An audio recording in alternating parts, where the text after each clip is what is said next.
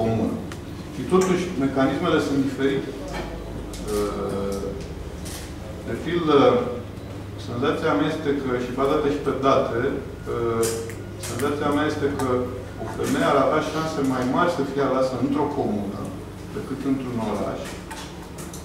Uh, problema e că acolo, din cauza acestei culturi patriarhale, femeile nu au ce să caută în politică, femeile au șanse mai mici să ajungă candidați decât în oraș. În orașe, femeile au șanse mai mari să ajungă candidați pentru funcția de primar, deci că e un mediu mai deschis, dar uh, au șanse mai mici să fie ales în funcția de primar, odată ce au ajuns uh, candidate la funcția respectivă. Și asta cred că ține mai degrabă de percepția oamenilor asupra uh, funcției respective.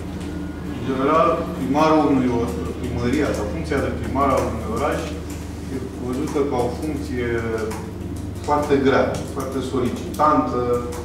Uh, un primar într-un oraș se confruntă cu numeroase uh, crize, fine, iarna, vara, se oprește apa, vine zăpada, vine inundațiile și atunci, din cauza percepției că bărbații sunt mai rezolutivi în situații de genul ăsta, sunt preferați bărbații.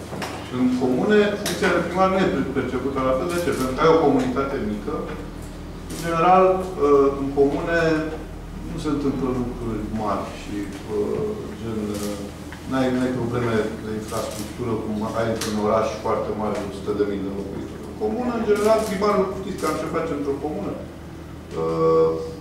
Cam, în general, redistribuie niște bani ia niște bani, dă niște ajutoare sociale, uh, mai repară ceva pe la școală, deci viața e mult mai liniștită și funcția nu e percepută ca atât de solicitantă ca uh, funcția de primar într-un oraș. Și din cauza asta, cred că femeile au șanse mai mari acolo să fie votate decât într-un oraș. Problema fiind, repet, aceea de accede la uh, candidatura respectivă. Uh,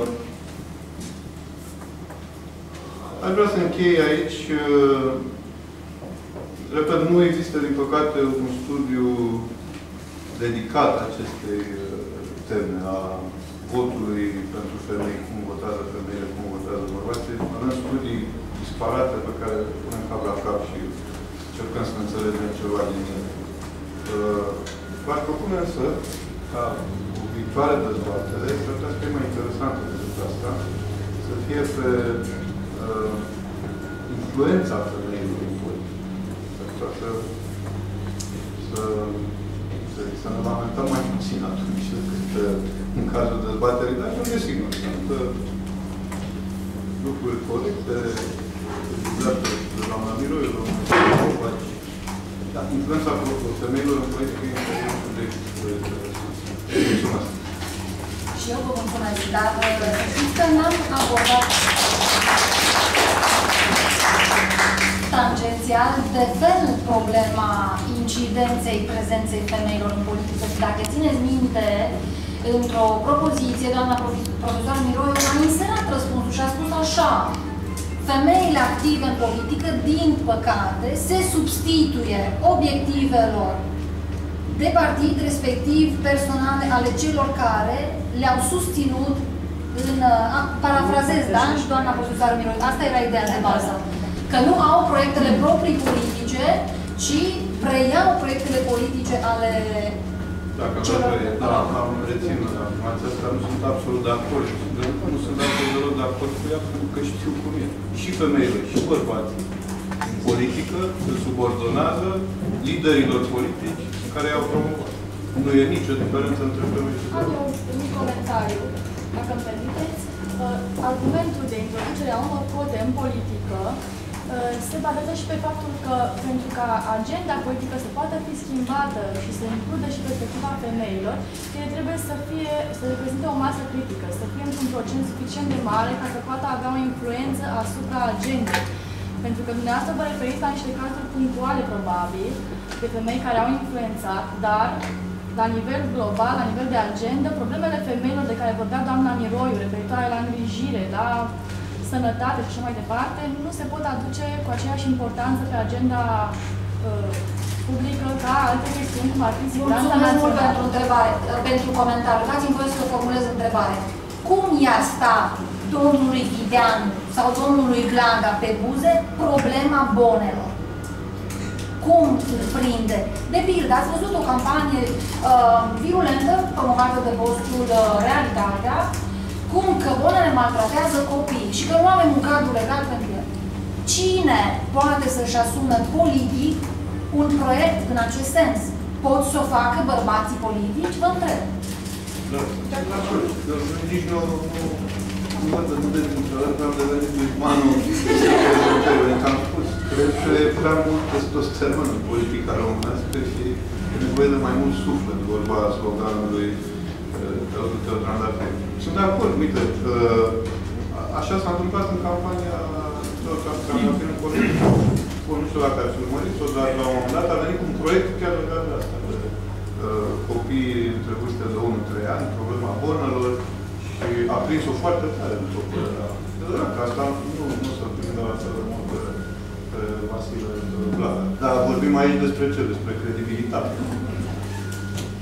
Dar dacă îmi permiteți, cum Dați-mi voie să terminăm prezentările și cu Lumea- Lumea intrăm la dezbatere. Abia aștept să vă aud opiniile, pentru că și eu mai vreau să-l provoc o dată pe domnul uh, Zăriu.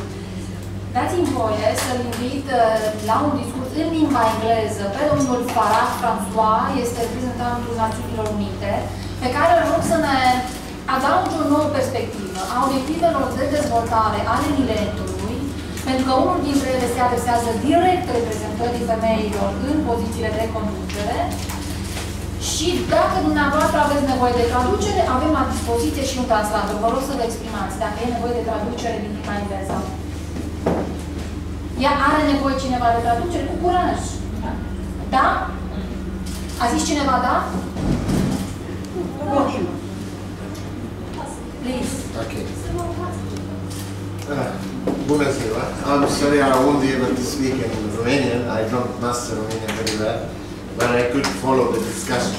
My name is François Farah. I'm the United Nations Population Fund representative for Romania, and I'm here to represent the United Nations for Romania.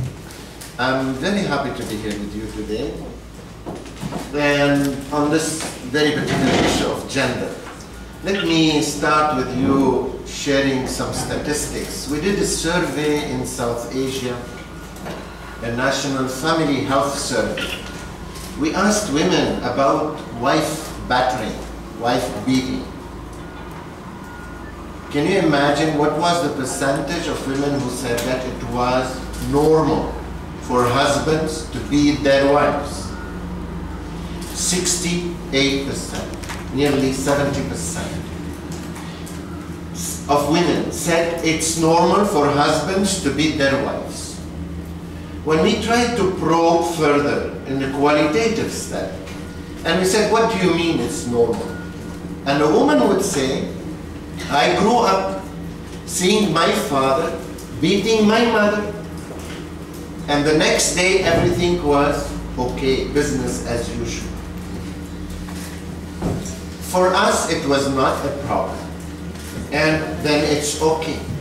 But then when you ask her, is it really okay? She would say, of course not.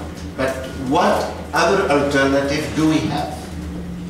Why am I mentioning this today in, from South Asia? And I'll come back to Romania and to Europe and to the global level. It's to say that gender inequality and gender imbalances are deeply entrenched in society. And it's not men versus